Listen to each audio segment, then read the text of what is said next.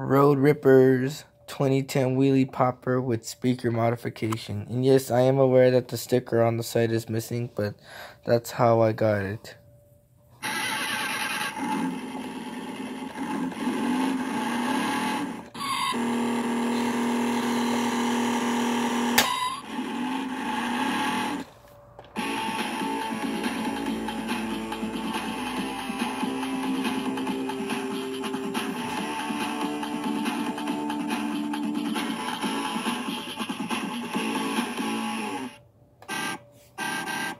Well, I hope you guys enjoyed it and thank you for watching.